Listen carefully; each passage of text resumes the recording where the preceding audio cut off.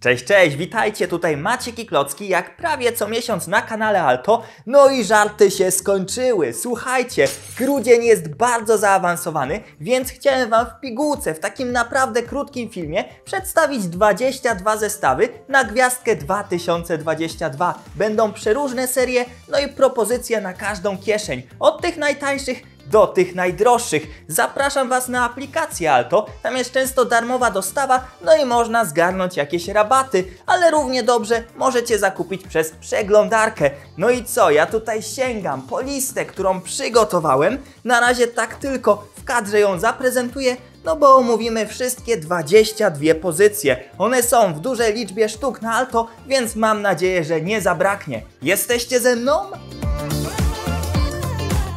No to rozpocznijmy od mechanicznej zbroi Wolverina. Dawno nie było Rosomaka w zestawach, kolorystyka całkiem spójna, mamy charakterystyczne długie pazury i sporo elementów ruchomych, także dla małych konstruktorów oraz fanów Marvela to jest naprawdę godna uwagi propozycja. Tym bardziej, że ta cena oscyluje wokół 40 zł. Myślę, że jak na taką liczbę elementów jak najbardziej opłaca się. A jeżeli raczej wolicie tematy magiczne, to moją drugą propozycją jest taki oto zestaw o nazwie Testrale i kareta z Hogwartu. Mamy tutaj po raz pierwszy małe testralątko oraz kilka interesujących nadruków. Minifigurki całkiem ok, chociaż ten Harry Potter no on chyba musiał pojawić się w tym zestawie. Mamy i koła i jakieś drzewko. Ja byłem zadowolony. Oczywiście większość tych zestawów nagrałem na swoim kanale, czyli Maciek i Klocki. Łatwo na pewno odnajdziecie te filmy. W tym roku na mojej liście nie zabrakło Lego Technik. Bardzo dobrze wspominam El Tolo Rocco, czyli takiego szalonego byka. Pomarańczowa karoseria, no i te charakterystyczne motywy, powiedzmy nawiązujące luźno do meksykańskich wyścigów albo po prostu hiszpańskojęzycznego świata. Puszczałem nawet w terenie te maszyny i potrafią tak 5-7 metrów przejechać, czyli ten mechanizm naciągu jest całkiem mocny, a i cena jak na Lego Technik atrakcyjna. Jeżeli zaś wolicie bardziej realistyczne pojazdy, to polecam Lamborghini Countach. No ta bryła mocno nasuwająca skojarzenia z latami 80. z Miami to jest mały cud świata. Oczywiście te samochody przeszły pewną modyfikację, teraz są szerokie na 8 studów, ale to pozwoliło jeszcze więcej szczegółów tam zawrzeć. No czy ten pojazd nie jest piękny? Do mnie trafia, na pewno, podobnie jak cena, która jest jeszcze, jeszcze odpowiednia. Niedługo ten zestaw może wyjść z oficjalnej dystrybucji i wtedy to wszystko podskoczy. Mówiąc na temat Lego Friends, nie sposób wspomnieć o takim zestawie Mija Ratowniczka Dzikich Zwierząt. Była tam żyrafa, a dawno tego zwierzęcia w oficjalnych zestawach nie było. No i cóż, żyrafę da radę położyć koło słonia i nie ma wstydu, mimo że te oczy są delikatnie zarysowane, jak to w dziewczęcych zestawach. Oprócz tego widzę tam garść użytecznych klocków, no i ten zestaw całkiem wysoką notę u mnie utrzymał. Budulec Prima Sort. Natomiast fani zwierząt w tym roku powinni bardziej zainteresować się setem Stodoła i zwierzęta gospodarskie. Dostajemy tam krowę, świnki, jagnie, owce i jeszcze kilka innych ciekawostek. Być może budynek jest nieco uproszczony, w końcu seria 4, ale nic nie stoi na przeszkodzie, żeby z własnych klocków to rozbudować. Jak na tyle zwierząt, to ta cena jest jak najbardziej akceptowalna. Akurat tego zestawu, czyli statek kosmiczny XL-15 nie pokazywałem jeszcze na kanale, gdyż nie oglądałem filmu, a chciałbym nagrać o tym odcinek już po obejrzeniu, gdzieś tam właśnie w święta. To jest dobry moment na nadrobienie filmowych zaległości. Niemniej jednak kilkukrotnie widziałem go w sklepie i jest fajnie obudowany z każdej ze stron. Trochę nasuwa skojarzenia z takimi bardzo starymi konstrukcjami, no bo mamy kolorystykę nieco podobną, ale to jest najwyższy sznyt, jeżeli chodzi o projekt. No, powiem wam szczerze, chyba zaraz nawet po nagraniu tego filmu pójdę i złożę, bo nabrałem ochoty. Cena też akceptowalna, jak na tą liczbę elementów. No i licencje, w końcu Lego Disney. Kozia łódź, aż sobie przypomniałem jakie tam w środku mamy minifigurki i bogobójce i kilka innych kluczowych dla fabuły tego ostatniego filmu z Torem w roli głównej. Sam kadłub jest nawet lepiej wykonany niż w tym zestawie z Lego Creator. No i tarcze są odpowiedniej wielkości dla minifigurki. Oczywiście to są zupełnie inne zestawy, ale jeżeli zależy Wam na realizmie, to chyba ten jest łatwiejszy w przebudowie niż ten set z Lego Creator, o którym tutaj trochę wspominam. No i minifigurki są dużo, dużo lepsze. Fanów Lego Ninjago powinien zadowolić kryształowy król. Rzadko kiedy dostajemy takie mechy, które przypominają nieco centaura. No i tam jest sporo takich czarnych elementów, a także akcenty fioletowo-różowe. No i minifigurka samego króla. Ależ to było dobre. Ładnie można wyeksponować ten model i na półce prezentuje się całkiem nieźle. Dla nastolatków to jest dobra opcja. A fani gier wideo oraz bardziej zaawansowanych konstrukcji powinni zainteresować się żyrafem. Oczywiście seria Horizon Forbidden West. Bardziej chyba ten model nawiązuje do jedynki, no ale akurat zeszło się to z premierą dwójki. Ależ tam mamy wykorzystane techniki konstrukcyjne, niczym w LEGO Ideas, a i sama minifigurka głównej bohaterki chyba trafi do mojej topki na ten rok. No, słuchajcie, dwie maszyny, bardzo ciekawie odwzorowane i ten teren trochę nasuwający skojarzenia, wiecie z czym? Z takimi grami bitewnymi, gdzie malujemy swoje figurki. Wygląda to naprawdę dobrze. A jeżeli jeszcze zbyt mało Wam zwierząt na tym przeglądzie, to polecam set z Lego City, który co prawda wyszedł w 2021, ale nadal się broni. Na ratunek dzikim zwierzętom. Co my tam mamy? I słonie, i małpy, i krokodyla w takich jasno-zielonych barwach. Dużo kamieni i te wszystkie mniejsze konstrukcje, one są sensowne. Pamiętam, że bardzo wysoko oceniłem ten zestaw. No i to jest kolejna propozycja, która powoli wychodzi z katalogu, więc trzeba się śpieszyć. Lepiej nie odkładać tego na później. Nie mogło na tym przeglądzie, na tej liście zabraknąć przedstawiciela LEGO Star Wars. Dobrze wspominam set Sala Tronowa Boby Fetta. Tam mieliśmy chociażby figurkę Boba Fortuny, no i kilka jeszcze innych ciekawostek. A te elementy pod takie piaszczyste, pustynne makiety są jak znalazł.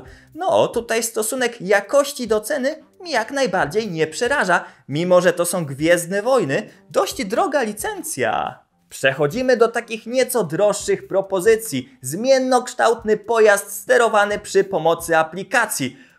Długa nazwa, ale w terenie sprawdza się to świetnie. Zarówno na takim nieco podmokłym podłożu, twardym, miękkim dywanie, w salonie, na podwórku unikałbym tylko takich wysokich zarośli. Zresztą ja solidnie testowałem ten pojazd. On ma taką ciekawą funkcję, że kiedy wjedziemy na ścianę, to po prostu się obracamy i możemy dalej sterować naszym pojazdem. Dwa w jednym. Rzadka funkcja, no ale to się jakoś broni. Cena tutaj jest już nieco wyższa, no ale na taki główny prezent to by się chyba sprawdziło. Lego Architecture nie ma żadnego problemu. W tym roku moje serducho skradła piramida Cheopsa. Oczywiście, może budowa jest delikatnie powtarzalna i nużąca. W końcu konstruujemy taki drobiazgowy teren, domki konstruktorów, no i później samą wysoką piramidę, ale efekt końcowy jest przegenialny. Jak jeszcze dodamy ten fakt, że możemy zdjąć samą obudowę i zajrzeć jak ten proces budowy się dział, no to słuchajcie, jest to bardzo dobrze przemyślany zestaw. No i polecam również pod elementy. Mimo dużej ceny, no to to się broni jako wystrój salonu. Minecraft, Minecraft, co by tutaj polecić? Było kilka fajnych mniejszych zestawów, ale chyba ta monumentalna lama, porównywalna swoją wielkością do wspomnianej wcześniej piramidy, no to to jest coś naprawdę interesującego. Tam mamy zarówno ciekawe minifigurki, jak i wyposażenie w środku tego zwierzęcia. Kolorystycznie też jest nieźle. Do własnej zabawy te klocki na pewno by się przydały. No i tak się zastanawiam, rozkładać swoją lamę, czy jeszcze trochę ją zostawić. A może jesteście fanami klasyki? Wtedy chciałbym Wam polecić galaktycznego odkrywcę. Mamy tam figurki żywcem wyciągnięte z dawnych lat, nieudziwnione, a i sama konstrukcja mocno nawiązuje do wcześniejszych setów. jak na tą liczbę elementów i tą radość z budowy, myślę, że cena nie jest przesadzona. Chociaż pamiętajcie, to głównie szare i niebieskie elementy. W środku jest pojazd, jest laboratorium i da radę trochę poodgrywać scenek. Także myślę, że tutaj międzypokoleniowo da radę spędzić czas. Ja wiem, wiem, nie wszyscy lubicie serię Lego Super Mario. Tam trzeba mieć zestaw startowy, żeby w pełni korzystać z innych setów, ale akurat zamek Peach no, zwrócił mocno moją uwagę. Mamy pięknie prezentujące się białe mury. Tam na szczycie jest również unikatowy witraż, kilka stworków na zewnątrz, no a w środku i Todd, i Tron, i jeszcze kilka takich królewskich gadżetów.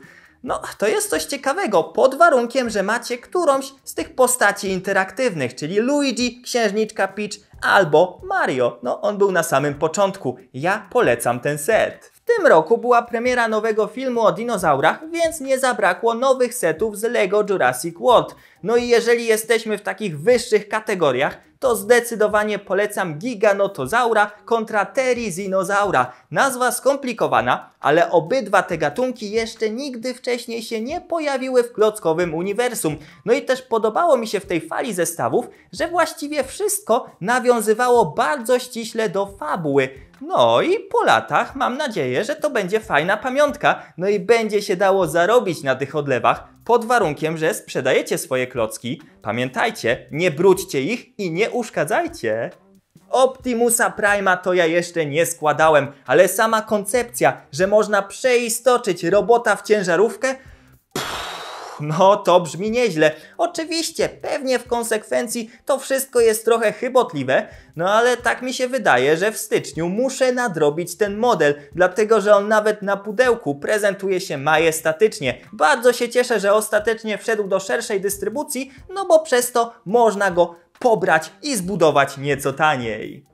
Patrzę sobie na tą listę i mam tutaj więcej zestawów z Marvela aniżeli DC, ale tak to chyba wychodzi, że serialowo i firmowo Marvel ostatnio jest bardzo aktywny. Sanctum Sanctorum, przez niektórych nazywany no takim nieoficjalnym modularem, kamieniczką. Faktycznie budynek jest staranny, a dodajmy do tego jeszcze minifigurki i wtedy ta cena robi się akceptowalna. Słuchajcie, taki styl nowojorski, można to przebudować na zwyczajną kamienicę, no a w środku całkiem dużo klocków, takich znajdziek, jakichś reklam na budynku, jest naprawdę super. I też mi trochę żal rozłożyć ten zestaw, ale pewnie wiecie, że powoli konstruuję swoje miasto, no i ten budulec mi się przyda, a tam jest akurat sporo szarej cegły.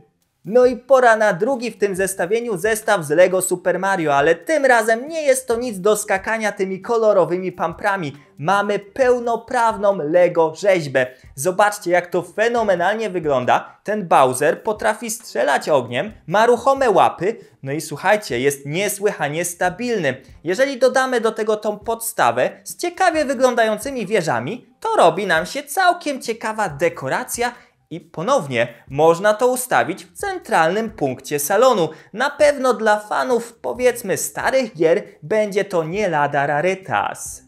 W zeszłym roku zagapiłem się i nie zdążyłem zakupić Kevina samego w domu. Stwierdziłem, nie będę przepłacał, poczekam jak wejdzie do szerszej dystrybucji, no i na szczęście wylądował również na Alto. Tamta cena jest bardziej akceptowalna, chociaż wiecie co ostatnio się dzieje. Wszystko właściwie drożeje, niemniej jednak klimat wokół tego setu i jeszcze ci mokrzy bandyci, którzy podjeżdżają swoją furgonetką. Mamy tam drzewo i masę detali. Oj, nie mogę się doczekać na tą recenzję, a ona się już na moim kanale powoli szykuje.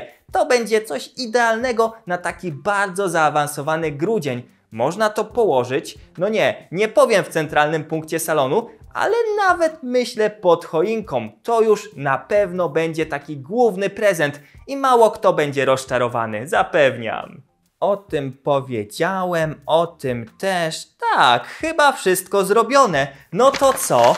Moja lista została już skonstruowana. Zerknijcie, jak to się prezentuje, bo na pewno na dole macie podpięty link z tymi produktami. No i piszcie w komentarzach, o czym zapomniałem, czego nie uwzględniłem. Ja ręczę, że wszystkie te zestawy no, są dobrej jakości i będziecie zadowoleni. Do zobaczenia, no i wesołych świąt, bo pewnie się tutaj już w tym roku nie zobaczymy. Trzymano!